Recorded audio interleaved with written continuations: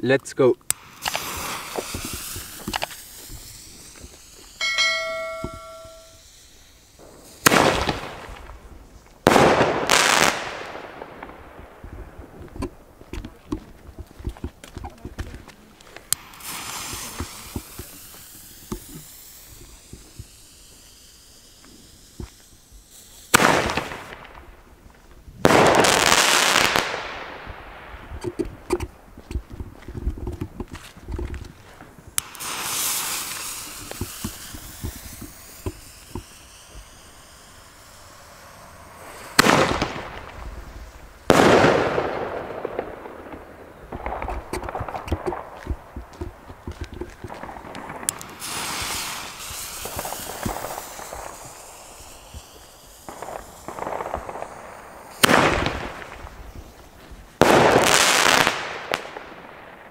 Fangen wir direkt mit der 1 an.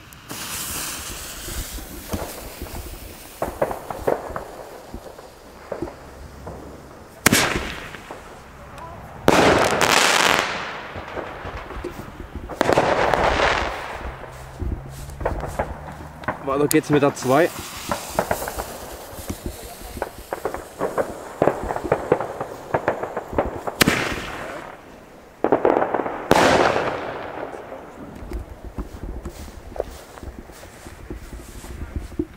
Weiter geht's mit der Nummer 3.